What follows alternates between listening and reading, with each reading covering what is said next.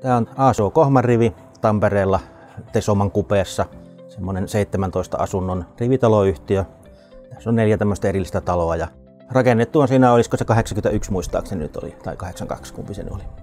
2017 tosiaan Suomen ekolämpö kävi asentamassa meille kaksi eri kokosta maalämpöpumppua ja tänne porattiin maakaivoja viisi kappaletta ekolämmön alihankkijan toimesta. Mutta ekolämpö hoiti niin kuin tämän koko paketin meille.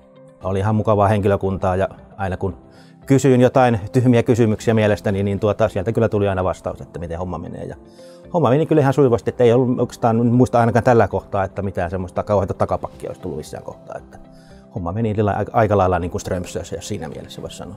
Maalämpöön siirtymisestä meillä tietysti on ollut konkreettista hyötyä siinä, että tuota, kulut on mennyt, kaukolämpö oli aikaisemmin ja sieltä mennyt sanotaan noin, noin puoleen tai vähän allekin ne kulut.